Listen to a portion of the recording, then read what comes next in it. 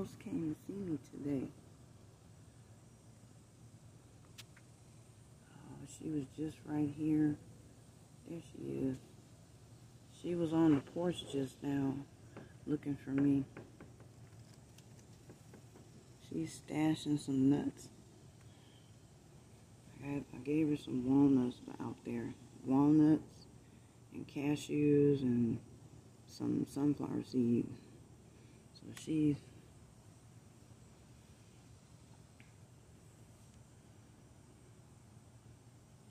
She ran back across the street when the hawk was over here a few minutes ago. She'll run to a tree over there across the street. But this tree is well camouflaged. I mean, there's a lot of places you could stoop and hide. You just have to stay really quiet. This is her tree right here. When the hawk was over here, she ran across the street. Come on. You gonna stay right there? Wait till I leave? Hmm? She's lying down. I'll talk to you later. Bye. Bye. Shalom, shalom. Oh, here she comes. Come on. Come on.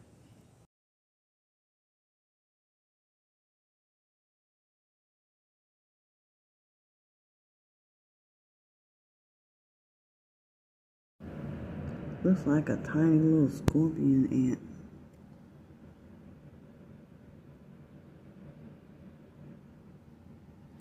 The sparrows are out.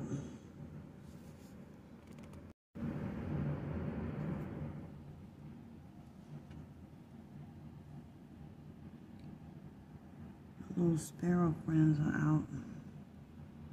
They're feeding. The chicks from um, a couple of weeks ago, they've gotten much bigger now. And um,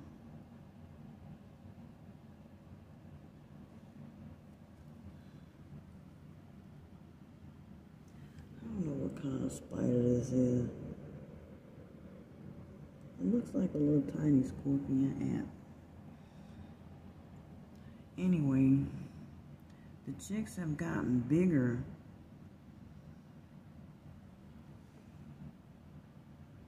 Yeah, that's some kind of spider on the right there.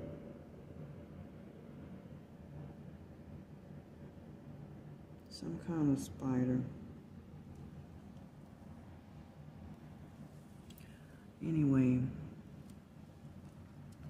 uh, the sparrows are out. They've been in the yard all day today. It's around 3.30 in the afternoon. They're flying in and out of the bush. And uh, they're coming back and forth to feed on some of the seeds that are still out there.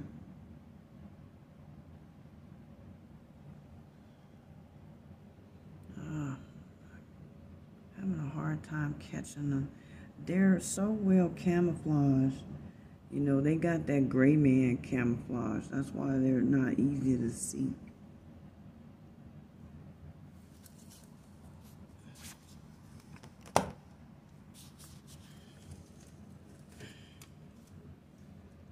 But they're in the bush over there.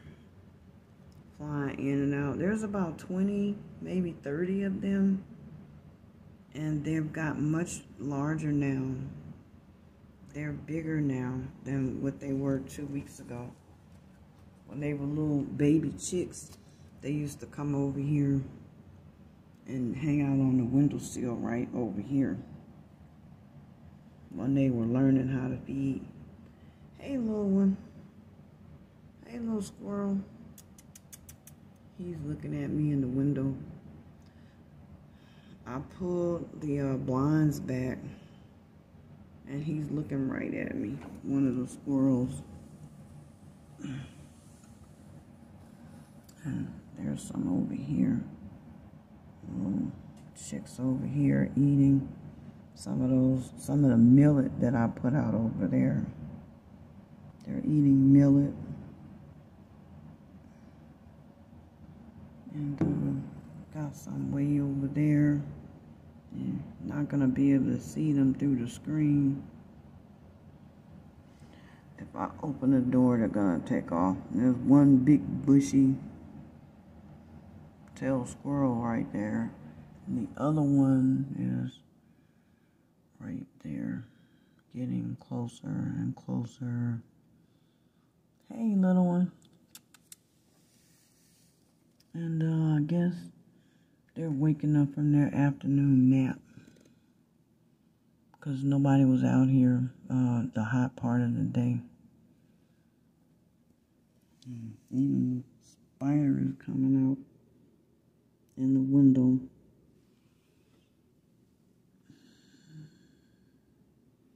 I don't know what kind of spider this is. But it's, um, I don't know what kind of spider that is. Long as he's on the outside looking in. Yeah, there he is. Crawling all over the window. See? And he's smart. He's on the inside of the screen, but he's on the outside of the window. So the birds can't get him. And you tell me spiders aren't smart. Because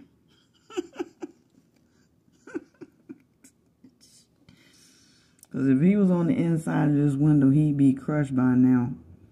You know, I mean, like, I love nature, but I'm not crazy. I don't want to get bit by any kind of spider at all. They're all toxic, you know, and you won't even know that you've been bitten till several hours later. It may be the next day when you realize you've been bitten by a spider. I got bit by a wolf spider. I think it was a wolf spider. And I was sick for two days. I was sick for two days after that bite. And it swelled up to a little blister. That's how I knew it was a spider bite. Because a spider bite, you know, it may look like a little mosquito bite at first, but um, it will swell up within a day or so, and it will blister and burst. That's how you know, okay, I've been bit by a spider. And you will be sick. If it's a poisonous spider, you will be sick. A couple of days. I was sick a couple of days. I've been bitten by, um, I was bitten by a brown recluse one time, but I was fortunate that it was a little baby one. But, you know, the area where it bit me, the toxins from it, the toxins had my leg numb in that spot where it bit me. And it was a tiny, it, it was a little bitty one. A little bitty one that bit me. So you can imagine what a, a larger adult one would do. It's the shady part of, of um, the day uh, where the trees let off the most shade so it's kind of hard for me to show anything unless they come close to the porch. And I didn't do much this week. So you're trying to get me, huh? Little spider. Trying to figure out how you're going to get in here. He could probably get in here if he really wanted to. But you better stay right there. You hear me? You better stay out there on the other side of that window.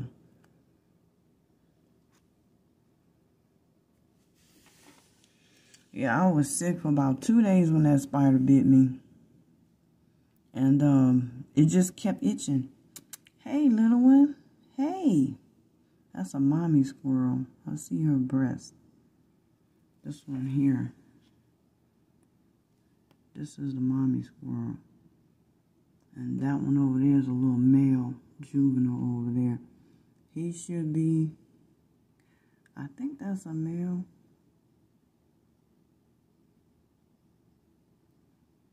He looks like a gray squirrel because he has a white chest. And there's another little female gray squirrel. She has a white chest.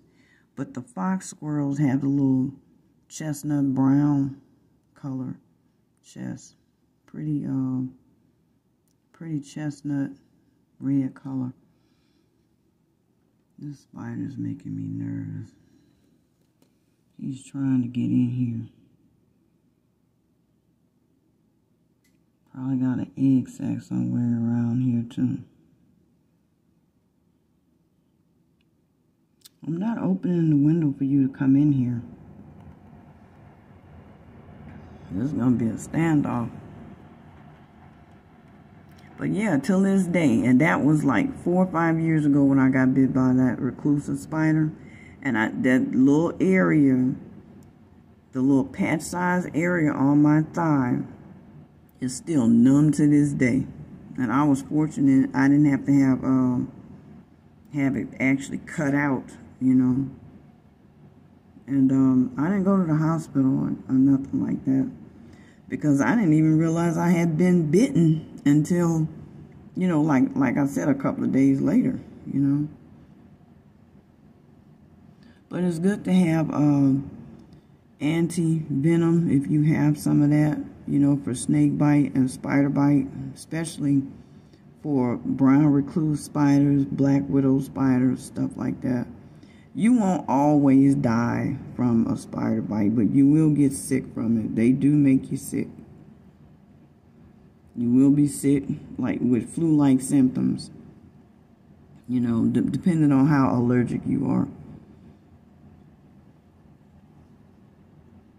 I was talking so much about the spider. The sparrows went back into the bush. And I just saw a grackle come. A grackle is in the tree. Um, in this tree. Right here.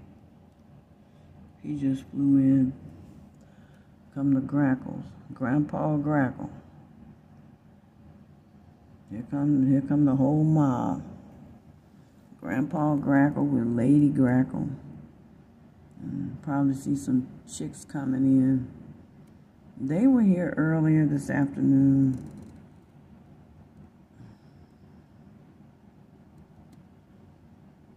I forget to eat sometimes. I haven't eaten all day.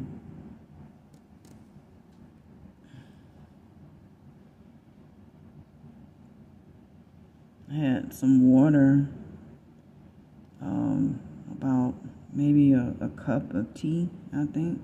But I haven't eaten all day, and it's almost, I think it's almost 4 o'clock. Hey, Grandpa. Hey, Grandpa Grackle. I'm glad to see y'all. Y'all like to shit on everybody's car and everything and tear up everybody's driveway with all that poop and stuff. But people really just don't appreciate you. All the bugs you eat in return. Eat all those bugs out there. They will even eat poop. You know, you have to try to, you know, get out there and scoop the poop. You don't want them to get sick. But those birds have a real good tolerance for uh, refuse. So they can, they will eat poop, they will eat decay, carrion, or, uh, you know, other decayed animals. They will eat garbage. So keep the garbage can closed. You know, you don't want them to accidentally ingest any plastic or anything like that because that, that will tear their insides up. They have not eaten this lizard yet, but that's okay because the lizard does his job too. He's back there on that tree, way back there. He's on the tree back there. You see his little head sticking out on the left side. I'm glad that little lizard made it. He's, he's eating up a bunch of bugs too.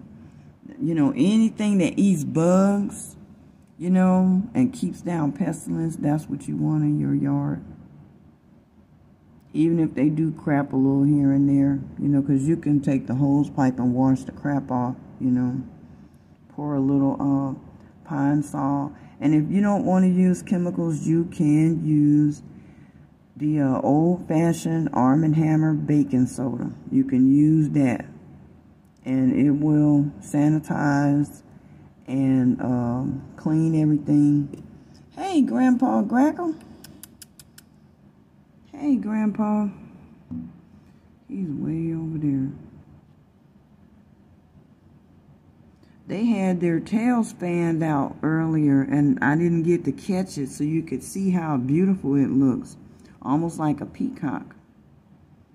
When they when the great tail fans their feathers out, those their tail feathers, really, really beautiful.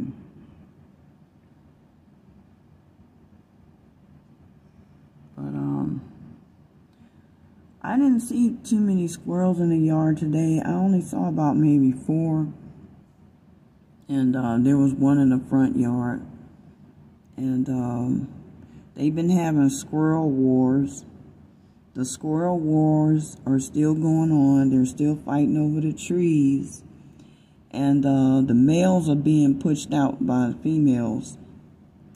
Because females... Um, they're more dominant in the squirrel community than the males are. Um, they will run the males off when they overcrowd the trees. The females will actually run the males off. So you have to pay attention to that. Especially the young juvenile males and, and they will get pushed out of the uh, of the yard or out of the area which forces them to move to other trees. And uh, because when the females uh, go in the heat, and when when they are, what do you call that? Uh, well, when they're impregnated, they may be impregnated. I think it's four. Uh, I think it's six weeks. I think it's four to six weeks and then they have a litter of pups, but they don't let the male hang around when they have the pups. You know, he'll come around, but they won't let him stay in the den with, with them or in the inside the tree trunk with them. They they push the males out, and so the females really determine um, how many squirrels you're going to see in the tree. You know, but there's normally no more than one to two squirrels per tree. Unless she has a litter of pups. And then it's just her and her pups that live in the tree. You know, and she'll push the males out. So the females are chasing the males out of the tree that they choose to raise their pups, and then they'll raise their pups for about a month or two. And when the pups, uh, their eyesight gets good, because their eyesight is not good the first month. It, it gets better when they get older. By the time they're two months old, they're ready to, to leave the den and go out and feed themselves. And when they get to that to that age, then she'll lead them away from her tree and take them to another tree of their own, show them how to get a tree of their own. And they have to fight for that tree, you know. But sometimes siblings will stick together and there may be two siblings per tree, you know. They'll they'll all be in the same area and they come back and they visit each other and feed and share feeding grounds with each other. They're, they're still community oriented, but the females are more dominant than the males because the females dictate what tree they're going to take for the for the pups and they'll chase the males off and the females are usually they're about as big as as the grown males are. They're they're about pretty much the same size as a full grown adult male, but they they put on a little extra body fat.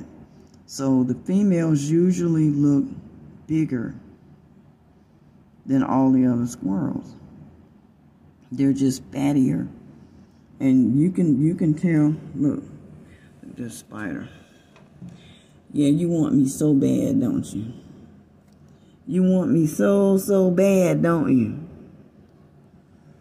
You want to just get in here and just tear me up, don't you? Huh?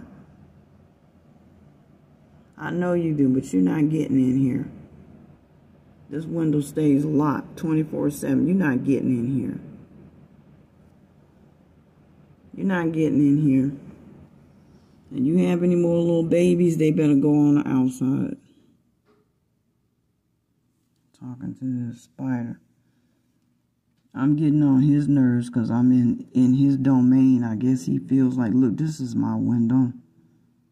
So I pay the rent here. Nah. You can go live in a tree. Everybody else lives in a tree. Hey, mommy. She can hear me. She's looking up. Uh, she. You gonna eat everything? She might have some more pups coming toward the end of the year. They'll probably be here by September. They'll probably be here by September. There's another female that lives in the front in the ash tree. She was chasing squirrels back across the street. They were fighting over the, the trees. Uh, I saw the ravens early this morning. They cleaned up the neighbor's yard over there, way over there, because uh, the trash had spilled out. And whatever bread or whatever they tossed out there, that they were eating on that. And the construction is still going on. They're still digging up stuff, tearing up stuff. So that's why the kit um, fox was over here last night. That's that was my first time seeing one. Yeah, the kit fox. You heard me say that, huh, lady? She stuck her head up when I said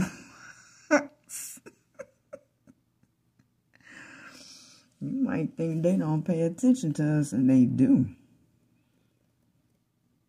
Animals can understand English. They can understand every human language on the planet. Don't ever think they don't understand you when you're when you talk to them. They understand exactly what you're saying. Because they can sense it. They can sense it.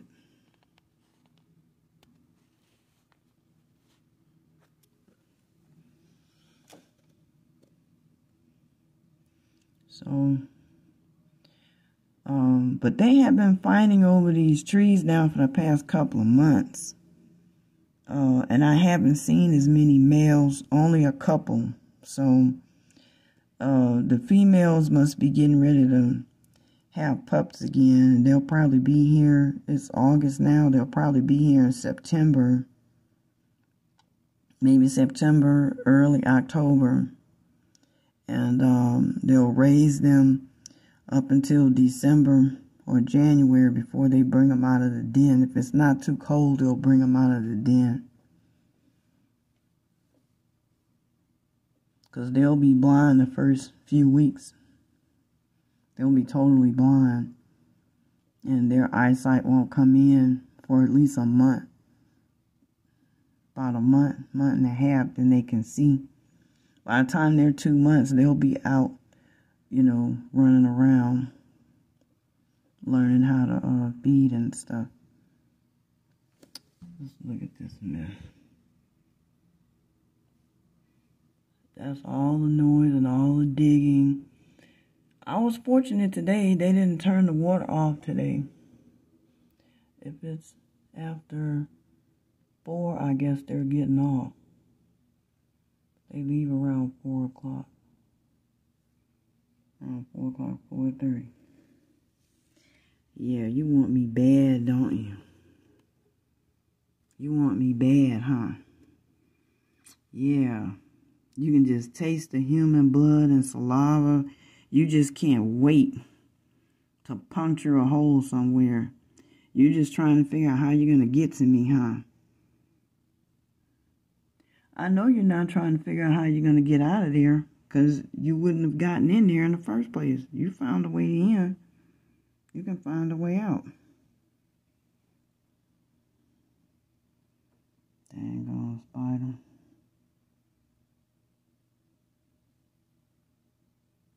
Where are you? Darn, can't see him. I lost him.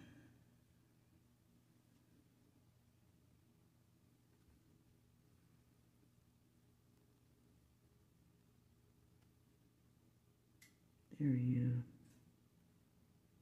I don't even know what kind of spider that is. It's a big one though. It's really not that big. It's not that big. I've seen spiders way bigger than that. I've been bitten by so many spiders. Should have an immunity to it.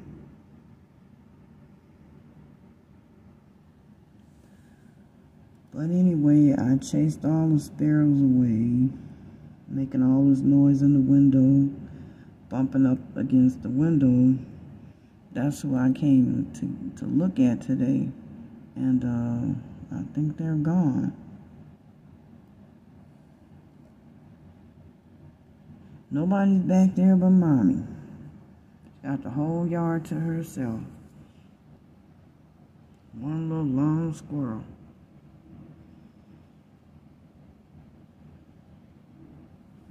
and a spider.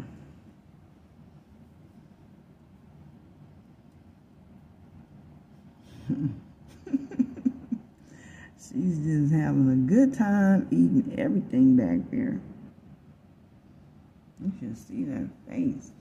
So happy. Happy squirrel. Anyway, that's it for today. Um, I have some other stuff I might put with this tape and just overlap it. But anyway, shalom, shalom. Bye, baby. Bye, mommy. Bye. Bye, you bothersome spider. Shalom.